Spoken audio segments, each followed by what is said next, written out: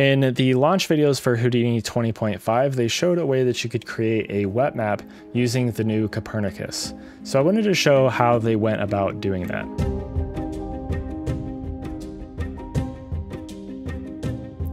So as always, this project file will be available on Patreon. So if you want to grab it and dissect everything, kind of go node by node, then you can definitely do that by grabbing that file. But I want to point out that this is not a technique that I created. This is from the actual short film that they had created for 20.5.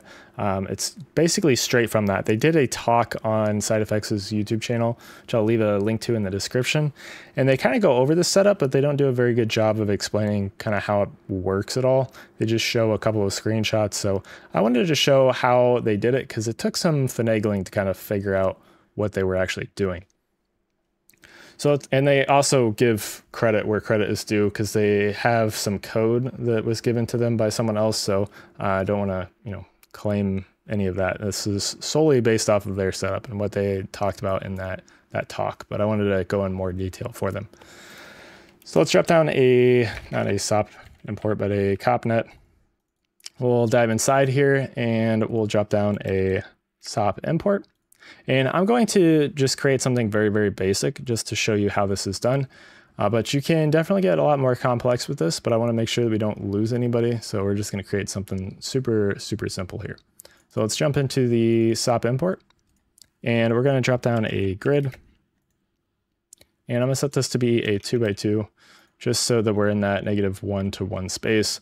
But the orientation everything doesn't really matter as far as, you know, making it match what a, a normal grid and cops looks like. If you don't know what I'm talking about, um, I have a video or a, a series talking more about uh, an introduction to cops. So watch that. But the the grid orientation doesn't really matter in this case, as long as the grid for this is matches the or the the two models that we're pulling from match.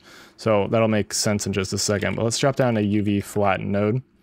And then I'm gonna just jump out and make a copy of this. We need some UVs to work on for this grid or for the object uh, that we're, we're you know, working off of for the wet map. So let's dive back inside here and I'm going to delete this. So this is where I say that everything has to match here. So this object in here needs to match exactly position, orientation, scale, everything is the one in here. So I would just object merge them over, but since they're just grids, I'll just make a copy of them and then we're good. So let's drop down a PopNet because this is what we're going to use to, you know, create the wet map. We're going to have some particles moving around and kind of creating a wet map here. So let's dive inside here and I'm going to drag this up and just change our birth here. So I'm going to set this impulse to $ff equals one, just so we emit only on the first frame. And I'm going to set this to like 30 and I'll turn down our constant activation there. Let's drop down a pop wind and make sure that that is actually piped in. And I'm going to crank up the amplitude a little bit. Let's make sure that they're not moving too fast and they should be good with that. So we're good. Let's jump up and let's drop down an attribute wrangle to make sure that these particles stick to the surface. I'm just going to set them their Y positions equal to zero. And now if I, if I click play, they're just, you know, all at Y zero, they're just kind of moving around, which is what we're looking for. Now, if you actually had a undulating surface, you'd want them to stick to the surface. And there's other ways of doing that, but for this case, we're just gonna make them sit on Y zero since that's where our grid is at. And then we need to change these to a VDB. So we're gonna do a VDB from particles and we don't actually want this to be a distance VDB. We're going to want it to be a fog, but let's dial in our size here first. So we'll take our voxel size and let's set this down to like 0.005 and change our point radius scale to 0.01 just to give us some small particles. Make sure that your voxel size is smaller than your point radius scale. Otherwise, they won't show up and we'll get some errors there. But let's change this distance VDB to a fog and let's rename it to surface just for consistency here. And let's jump out. And then we need to rasterize this input here. So let's do a rasterize setup. And we don't want this to be a position. We want this to be UVs. And this is just going to give us this. And then let's go ahead and rasterize that again with our rasterized geometry. wire that into the geometry input. And I don't want the alpha. I want to grab the original position value here. So let's take that and wire that in or paste that into our name and change this from mono to RGB. And then we can drop down and OpenCL node, and this is where all of the magic is going to happen. So we're going to take our signature here, and we need to make sure that our source is the right thing. So let's set this to an RGB, and we can wire in our original position for our source. And then we're outputting a value called DST, but we need to import our surface volume here, our VDB. So I'm to give us another input here, and I'm to call this surface. So the same thing that we have named here needs to match what our actual fog VDB is called in here. And I'm to take this and change this to a geometry, and we're going to wire this on in. So now we have everything that we need in order to actually work. Let's go ahead and take a look at our node, and we get an error, and that's because we need to do a few things in our kernel, so our code. So this code was, like I said, given to them and that made the, the short film um, by someone else. So definitely go and watch that uh, that video. I can't remember who it was, uh, but go and watch the talk where they where they talk about it because they give credit where credit is due. Um, and definitely, this is not something that I created. But let's go ahead and paste in that code. So this is the code that we have. And I just want to give a brief kind of rough understanding of what this is. I am definitely not an OpenCL master, but I have a basic understanding of what everything is. So we have this bind, which is basically our import here. So we're importing what we have set up in our signatures. So we're binding in a layer called source, and it is optional. That's what this question mark means. And it is a float three value. Then we're binding in another layer called DST. Uh, it's mandatory, so we have this exclamation point. I forget what the ampersand means, uh, but you can look more into that. It's just OpenCL code. Um, this is going to be our export, so this is going to be a float. And then we have a third layer that we're binding in called, that is a VDB surface, and it's going to be a float value as well. So from there, we're going to create a position uh, float three called position, and we're going to set that equal to source. So our source that we're importing. So that's going to be our original position. You see that we're already working.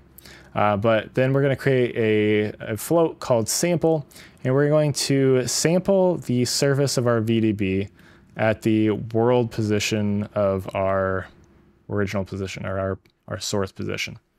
Um, that's my basic understanding of that, and then we're going to export that out. And that's going to give us this. So if I go ahead and press play, we have the start of what a wet map could be, but there are no, you know, wet map trails that are being created by this, but we do have our particles moving around. So that may be useful if you want to do certain things. There's probably easier ways of doing this, but that's one way to do it. Um, so let's go ahead and drop down a null and we're going to wire in our output into this null and let's call this out underscore wet map. And the reason that we're doing this is because there is no solver inside of cops yet. Um, and I couldn't figure out a, figure out a way to do this all in SOPs because it would work faster if you could do it all in SOPs.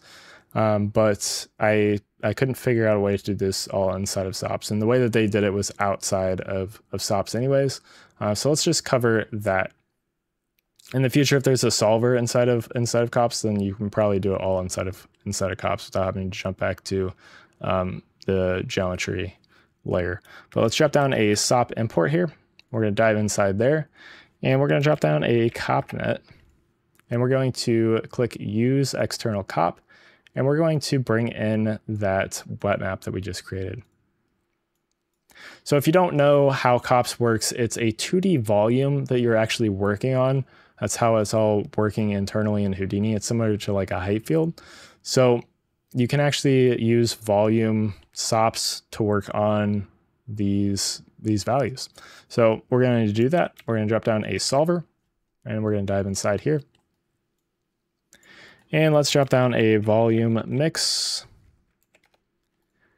And we're going to wire in our previous frame. We're going to wire in our input, which is our current frame. And we're going to set the mix method to add jump up here and I can press play.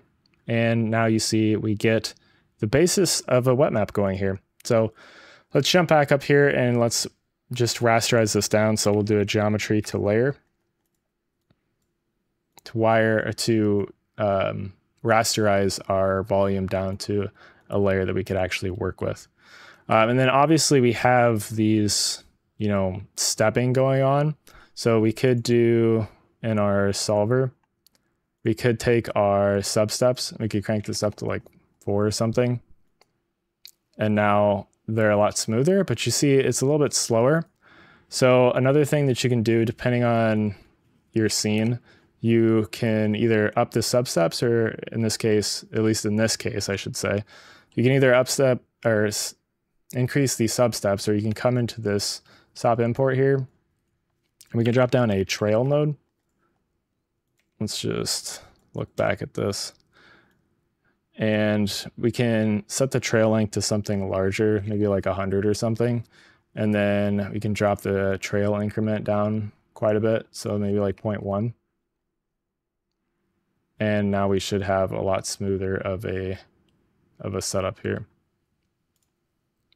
Let's jump back and we're on one sub step in the solver here. So if I press play, it's running a little bit faster and we get we get rid of that stepping, which is kind of nice. So that's really kind of the basics of how we can go about creating wet maps inside of the new cops. You can use VDBs to generate them, and then this OpenCL code is really where all of the magic happens. So props to the the person that came up with this because this is is super cool. This is a great way to import, um, you know, import VDB surfaces into into cops and, and work with them or into OpenCL in general. I'm assuming this would work inside of SOPs as well. This sort of a thing would work, um, but I'm I'm not really sure. I haven't tried it, but it does definitely work inside of cops, and you can create some cool wet maps with it. So, like I said, this is based off of this is basically the exact setup that they did for uh, that short film for the Houdini 20 launch video stuff. So look at that talk. They definitely go into a lot of different things, and it's it's a great talk to to listen to. But they show some of this, but they didn't, like I said, go into detail on how like the nodes work. They just showed some screenshots and stuff. So I wanted to break down how they actually went about doing it because it, it is a little bit uh, complex if you are just trying to, to recreate it from the nodes. But Anyways, hopefully this has helped you out. I have a bunch of other videos covering some of the new stuff inside of Houdini 20.5 on my channel. So if you want to learn more about Houdini eh, or Houdini in general, I have a bunch of videos on Houdini just in general. You can check out some of those videos, check out the new stuff in 20.5. But anyways, thank you guys for watching and have a good day.